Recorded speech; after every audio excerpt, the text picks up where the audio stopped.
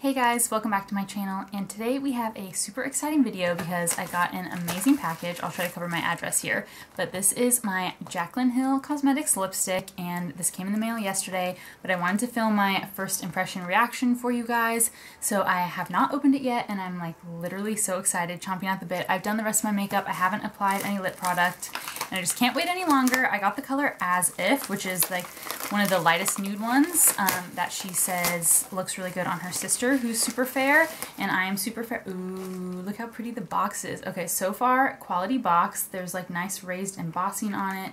This looks actually a lot um, fancier than I thought it was going to. These were $18 and this is the Jaclyn Cosmetics lipstick. Cream meets shine with this rich pout perfecting lipstick that's filled with buttery goodness and there's the shade right there, As If, and so far I'm impressed with the quality. The packaging was really cute. I thought it was also a cute touch that the like actual mailing um, envelope had her branding on it. So okay, let's open this bad boy up. And just a side note, I'm already pumped because Jaclyn Hill and I have the same initials, so I just had to have like this lipstick because it just has my initials on it. So okay, so so far can't open the box. Really struggling here. Okay, there we go. Ooh, it looks so shiny. Ooh, okay, so here's the lipstick. The nice shiny top, little JH for Julianne Heckel, you know, or Jaclyn Hill, whatever. But um, this so far is actually like really quality, like a lot weightier than I thought it was going to be.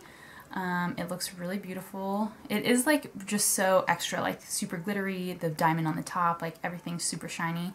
But I'm super into it. I don't have any other lipsticks that look like that, that's for sure. So let's open it up.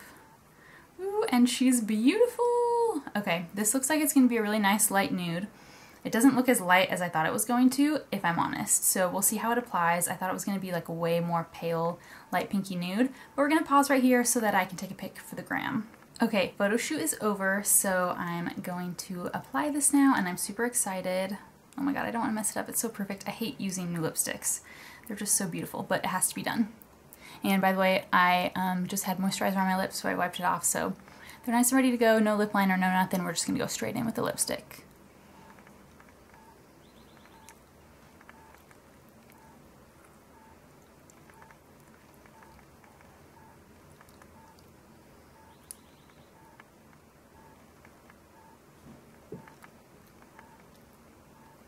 Okay, so far the color is absolutely beautiful. This is a really nudie nude, which is what I wanted. It's very hard to find nudes for fair skin.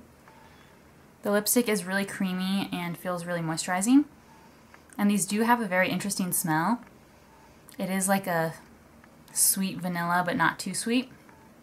Like you definitely kind of have to like sniff really close to get the scent, otherwise it's not really gonna bother you. But okay, this actually applied pretty um, smoothly. I think I would definitely use a lip liner next time but overall pretty happy with how this looks. Okay, I think this is definitely a good color if you're fair like I am and are looking for a really nudie nude.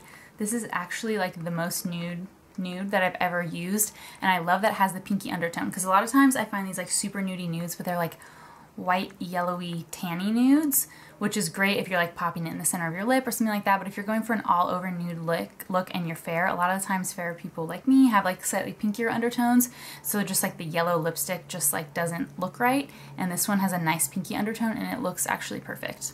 Alright, so my honest first impressions is that I love this. I think the color is super unique, beautiful. I love it. The packaging's gorgeous. From the box to the actual bullet to like the packing slip, like everything was just really nice and quality. Um, I think the smell is like not too overpowering. It feels really moisturizing. The color is super nice for fair skin. I'm super impressed, but I'm a Jaclyn Hill like super fan, so I was gonna love no matter like what she brought out. I feel like I was gonna like it and buy it and like support her.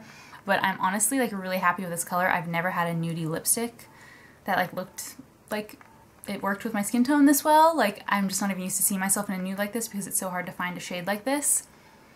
And so far, really happy with it. So I hope you guys enjoyed seeing this like unboxing of the Jaclyn Hill Cosmetics lipstick.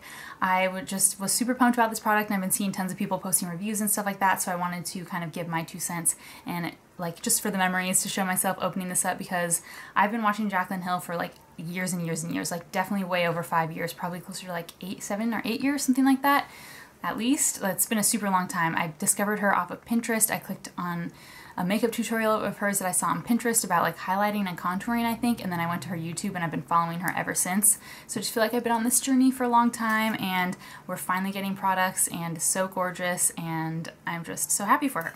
So hopefully you guys enjoyed this video. Like I said, please subscribe if you haven't already so that you don't miss my next video. I still upload two days a week on Monday and Thursday and thank you so much for watching.